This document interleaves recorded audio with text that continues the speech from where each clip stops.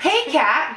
Hey, Marci. What drink are we gonna make today? We're gonna make purple hooters today. well, that sounds really fancy slash trashy. Yeah, so this is a drink that my friend Alicia found, and she was like, "We gotta make this." And but then we, I see, I have this thing with friends who want to make drinks, but then they just kind of don't show up for the drink. I will always show up for you. Thank you. You're welcome. This drink looks really easy. We have raspberry liquor, vodka, and Sprite. Not a vodka fan, but that all together looks delicious. Yeah. Mm-hmm. So, what are we waiting Oh. for? It's not purple at all. It's purple. It's like a mahogany. It's burgundy. It's red. The purple drink that I saw is really purple. Cheers!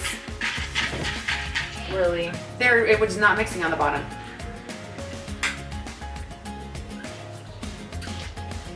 Mmm.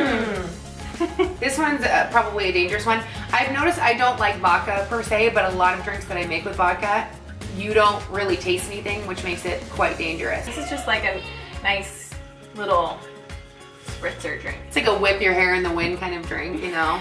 Now watch me whip. Watch me nae nae. Watch me whip. Whip. Are you whipping or are you swimming? I do recommend this purple hooter. It's Yeah. not purple, but I think it's kind of a purple. It's, I don't know. not purple. This is a raspberry hooter, is what it is. But yeah, you'll like this. This is a really light way to start your weekend. You're gonna feel fresh and It's almost like a, it's almost like a Cosmo, to be honest, yeah, but with Sprite. it's lovely. Here it is. Have a Cheers. good weekend.